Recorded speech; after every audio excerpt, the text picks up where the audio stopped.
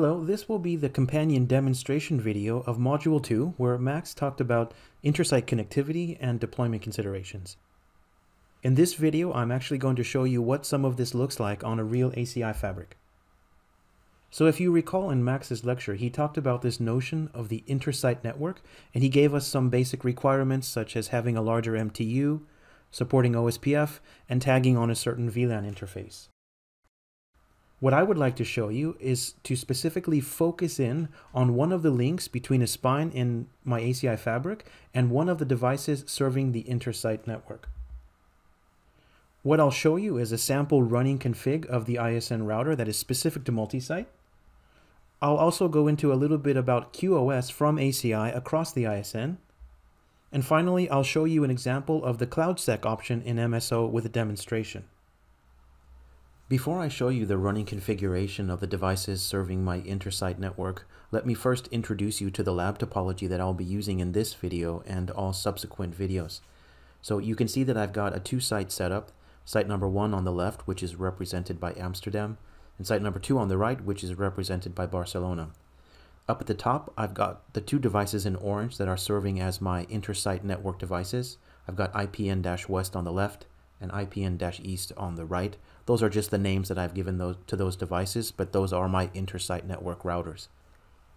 I should also point out that this does not represent a production grade design. As you can see, I'm missing all kinds of redundancy in terms of IPN devices and only having one spine, etc. But this is how my lab topology is set up and it's sufficient for our needs.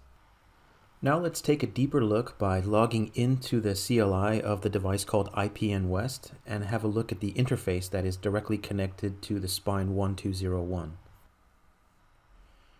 If we take a quick look at the configuration of the interfaces that are directly connected to my spines, I want to point out that's Ethernet 1 slash 49 and more importantly, interface Ethernet 1 slash 49.4. If we take a look at those interfaces, notice that I've increased the MTU size to 9150. Furthermore, if we look deeper at Ethernet 1/49.4, you can see a few additional configurations that are required. First, that I'm tagging this encapsulation on VLAN 4. It must be VLAN 4. It cannot be any other VLAN. This is because that value is hard-coded in the spine, and our side has to match. You'll notice I have a little bit of QoS going, which I'll go into a little bit more detail later. You can also see that I've got OSPF configured as a point-to-point -point network, and I've put this interface into area 0. Okay, now let's take a quick look at the quality of service settings. So you can see here I'm logged into the APIC that's servicing my Site 1, and under Fabric Access Policies, under Global Policies, you'll see an item called QoS Class. And you can see here that ACI out of the box provides us with six levels of class of service. But we have a problem because in multi-site, we're going to be crossing the ISN, which is a layer 3 network. And class of service is a marking that's in the outer layer 2 header. So we need to do something to be able to let the ISN know how to handle traffic as it traverses the ISN between sites. So if we switch over to the view of tenant infra under policies protocol, you'll see an item called DSCP class COS translation policy for layer 3 traffic. This is a mechanism that will exactly solve the problem that I just presented. So in the configuration view, you'll see that this translation is disabled by default. So the first thing that we want to do is enable this. Below that, you'll see all the different mappings that we can make to the six configurable user levels, plus an additional four that are reserved for internal purposes. So in my example, I'm going to mark user level traffic as expedited forwarding. And that's going to be an example where I show traffic from within an EPG needing to talk to something else across an EPG in a different site. And I want to make sure that that traffic gets a certain level of treatment, in this case, expedited forwarding. In addition, I want to actually do some special treatment for control plane traffic. And I'm going to mark this as class of service 7 now, control plane traffic, if you remember, the spines need to create BGP adjacencies between them in order to share reachability information about the endpoints and things within their respective sites. Now I want to mark that with a special marking and then apply quality of service across the ISN to make sure that my control plane traffic is never starved out by other kinds of traffic that are traversing those same links. Let me quickly show you an example that I've set up in order to cement your understanding of this topic. So in my example, I've created an EPG called EPG-AMS, and in the policy configurations of this EPG, I have opted to set the QoS class to level 1, otherwise its default always remains unspecified. If we look at the image to the right, that's the DSCP class translation policy that I set up just before but I set the user level 1 to expedited forwarding, and that maps to a DSCP value of 46. I also opted to mark control plane traffic as CS7, and that maps to a DSCP value of 56. Now those numbers will become important because as traffic leaves the spine and hits the intersite network, we need to be able to match that traffic and tell the intersite network devices to treat that traffic with special priority. If we go back to the view of the running configuration of my intersite router, you may have noticed that under my Ethernet 1/49.4 interface that I had applied a service policy on input traffic called ACI-classification. Now what that means is any packets leaving the spine heading towards this ISN device are going to get this particular service policy.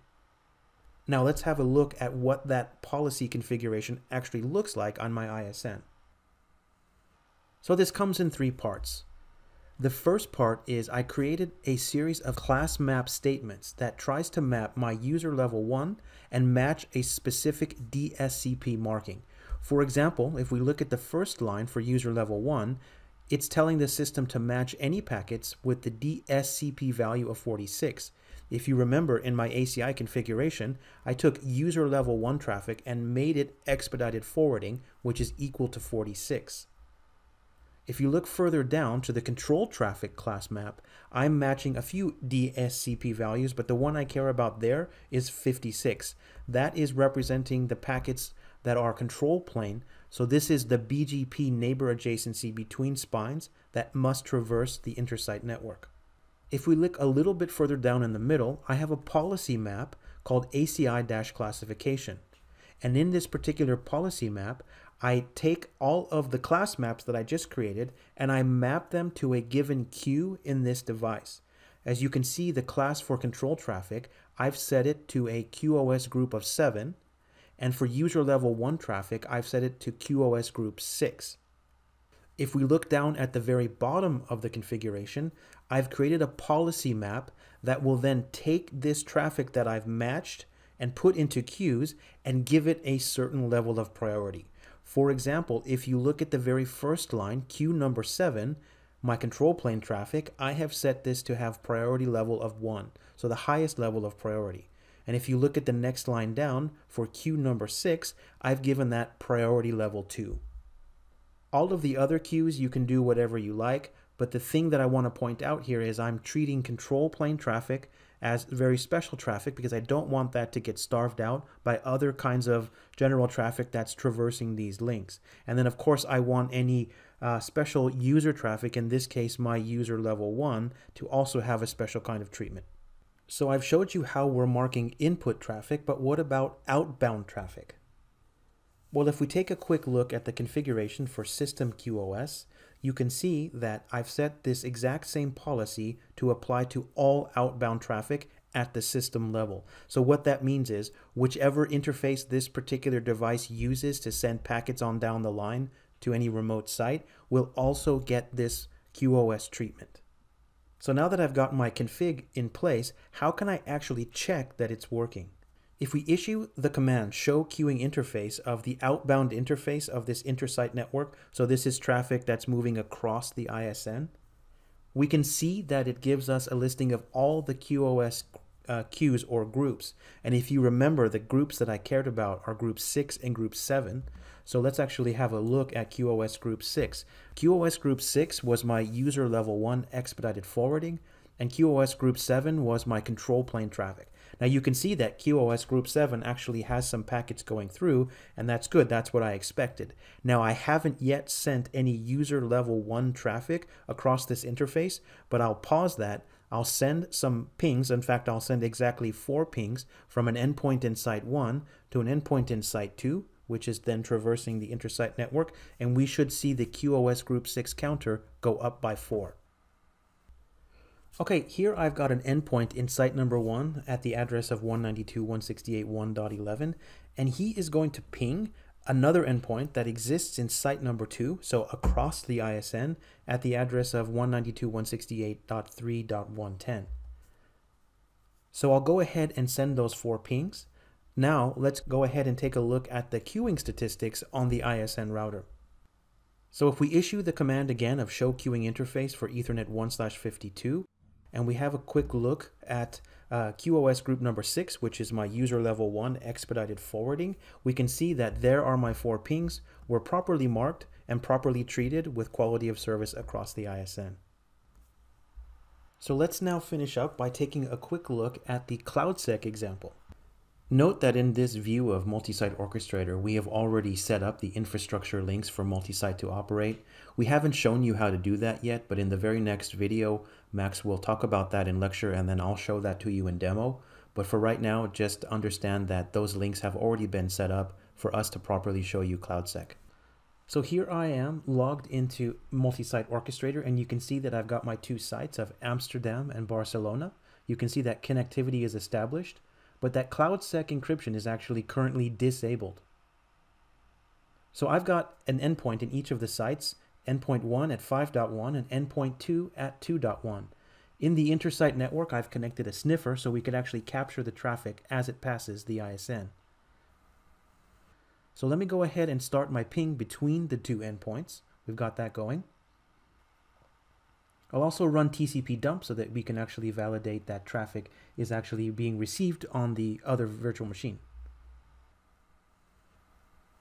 Here I've got the sniffer and I'm capturing the traffic of this and you can see it's in clear text all of the pings going between source and destination.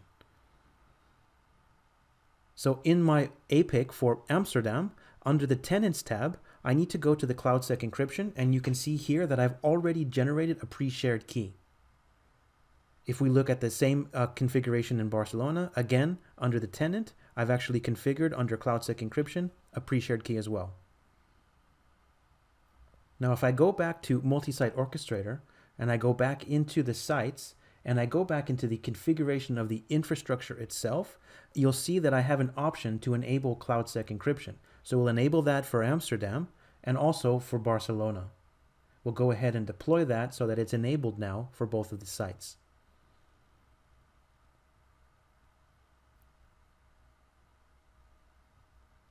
Now, of course, if we go back to the dashboard and we have a look at the configuration for these sites, we will see that the CloudSec encryption is now green with a checkbox. Again, I've got my pings still going between my two endpoints.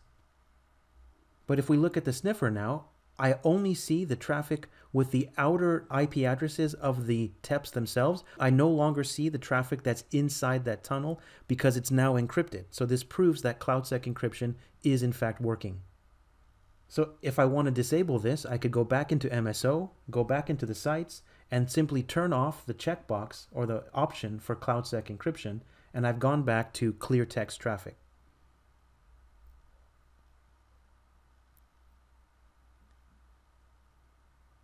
So again, back in my dashboard, just to validate that CloudSec encryption is in fact disabled. Our pings are still going, and if we look back at the sniffer, we can once again see the traffic in clear text. So this ends the demonstration for module number two, and I'll pass back to Max to give you lecture on new topics in module three and beyond. Thank you.